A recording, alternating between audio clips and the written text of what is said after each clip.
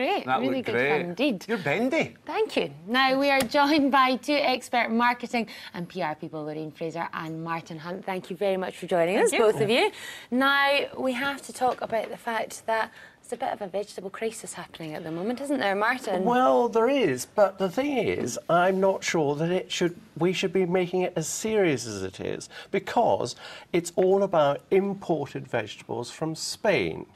And it's being limited by some supermarkets that you can only buy two iceberg lettuces when you go in. Mm-hmm. Now, actually, why don't we be? I want to launch something tonight, and I want to have launch an Eat Our Own February. We've had a dry January, so let's have an Eat Our Own February and buy and buy and eat root vegetables.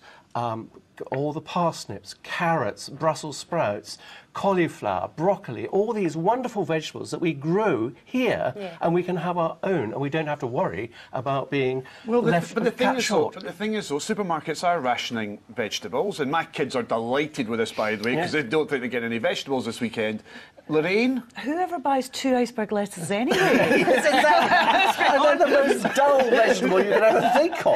Yeah, and what's happened to the broccoli? Because in some supermarkets Yeah. they're reducing broccoli, so why is broccoli not getting the highlight? know. Yeah, lettuce all of a sudden is the sexy vegetable, which I really don't understand why. But and there was a guy on Gumtree who was selling iceberg lettuce for three, for 50 Yeah, pounds. it's three, no, 12, oh, 12 for a, a pack of 12. A Pack of 12 for 50 quid. for 50 quid, which is just thing that ridiculous. stands so out for we me- don't need strawberries in Yeah, January. But the thing that stands out for me, though, is that it's it's a bit of a shame for all the farmers in Spain and Italy that are having this crisis. There, it's their livelihoods that are threatened Absolutely. at the moment, I, isn't it? I was on the train coming over tonight, and I was sitting in the train with a young farmer from East Lothian, and he said, "We produce quite enough here that we can have and supply Scotland very happily with all the root So vegetables." why And did, it's- okay, I if, that, say, e- yes, if that easy to get, why did you not bring one in with you? because I was on the train before I met him. but, but I am absolutely adamant that we should start eating our own stuff. So come on, uh, let's have let's have eat our own February. Yes, let's all Excellent. I follow agree with Martin. Martin. Let us calm down and eat our Let own. us calm you down. go. I like it. Okay, There's guys, fun in there. Thank you very much. But we'll be back with more headlines. So, before you dig into the steak, this is posh mac and cheese. So I want your honest opinion on the posh mac and cheese with truffle oil. So Yeah, let's- let's have a taste of that. I do like my own mac and cheese, so you might have a lot to live up to here. Hang on. Well, We've got some I have to onions and say, it mushrooms in there as well. It's uh, garlic, garlic and mushroom. You Garlic could, and put, mushroom. you could throw the kitchen sink at this. You could literally put some kitchen sink in this. It, it does taste expensive. Yeah. That's not what you said uh, in between the shots. You know, said it smelled a bit like the stuff you get at the tin.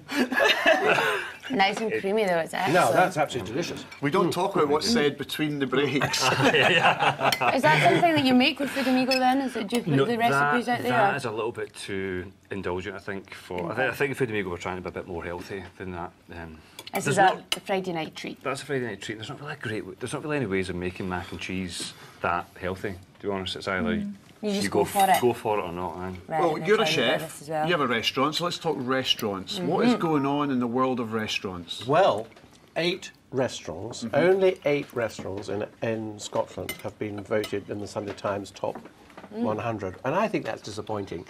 And the restaurants that they've chosen, some good ones, but we all have our own favourites, and I don't. I think it's awfully sad because it's so subjective.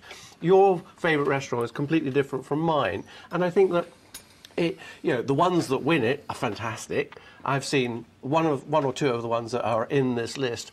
I wouldn't have put them there, but I would have put another one in its place. So eight And out of the hundred are from Scotland. Eight out of the hundred are from Scotland. Now, if you're saying that that's that, you know, we've only got eight percent of, of good restaurants. I don't agree I'll- with I'll that. bet you, at these restaurants, I bet they go the extra mile. I bet you when it comes to like the, the finishes and the, the, the amount of knowledge that the staff have. Well, I would all, say it'll be there was, touches. there was one restaurant that's not in there, and it's it's a chef that we that has been on here, Mark Greenaway. Mm-hmm. I mean, there he's not included in that list. Now, what he does in going that extra mile, I think, is unbelievable. Does he have then- truffle on him? What do you No, no, no, no. But I will tell you, no, David, I Does will he tell put you. mac and cheese with his steak? Yeah. I was just going I, to my. Christmas presents for everybody this year were truffles, proper truffles. Of course they were. Of course they were. And Lorraine, what do you make of this? Do you think eight is quite is quite good? I is it think good it's not representation? bad, to be honest. If you think about it, the percentage of Scots versus Yeah. the percentage of the UK population, and it's all subjective, and that, that, at the end of the day. So there'll be things, as you said, restaurants that are on that I would love that I haven't seen. And Okay. I think it's not bad. I think it's good for Scotland on the map. There's some got- It's more obvious ones, though. Yeah. Is You it in know, Glasgow's no Michelin star restaurants. Even though yeah, they've got them. absolutely. It hasn't been for a very Surely long in time. hipster Finnieston there must be some coming shortly. I was going to say that I think sometimes they're not the things that make a good restaurant. I like a good restaurant that's friendly and good food rather than being too pretentious. Yeah, so I think sometimes Exactly. that's a good thing. So I have Yeah. to say, Mark does it beautifully, and there's outsiders as well. I think it's a great restaurant as well. I think that, yeah, well, I I don't want to Okay. mention too many No. Because have- it's what we not have- No, fair. there's What we have to do is on move away from the restaurants and talk about Wraith becoming Miami. Oh, yes, absolutely. I've got my bikini ready to go. You must have as well. Listen, our I- to we take were, on. no, we were chatting in. I mean, the thing is, we always look to external USA or far glamorous places in Scotland, in particular, to try and you know brighten up our towns. And actually, we shouldn't. You know, Kirkcaldy's not known for its beaches. Let's be honest. It's what is it known for? It's known for the fair. p- well, Let's just- build on the fair. What, what they're doing is they're planting palm trees. Yeah. yeah, west, uh, east coast, wind. I think, yeah. Yeah, Okay, but the Ross trees say are we're- designed to handle the wind and the cold. Do you think so it's a lack of to- news, though? I mean, let's be honest, they're planting a few trees to put it in perspective, and we've got a whole piece of this. I think it's great fun. I mean, it's lovely. It's, it, it's you know, I mean, making it a little So bit. we're all lovely. heading to Kirkcaldy for our summer Oh, holidays. 100%. That's As absolutely. long as they bring the sun. Thank you, guys. Much appreciated. Now, that's almost it for this evening and indeed the week. Wherever you're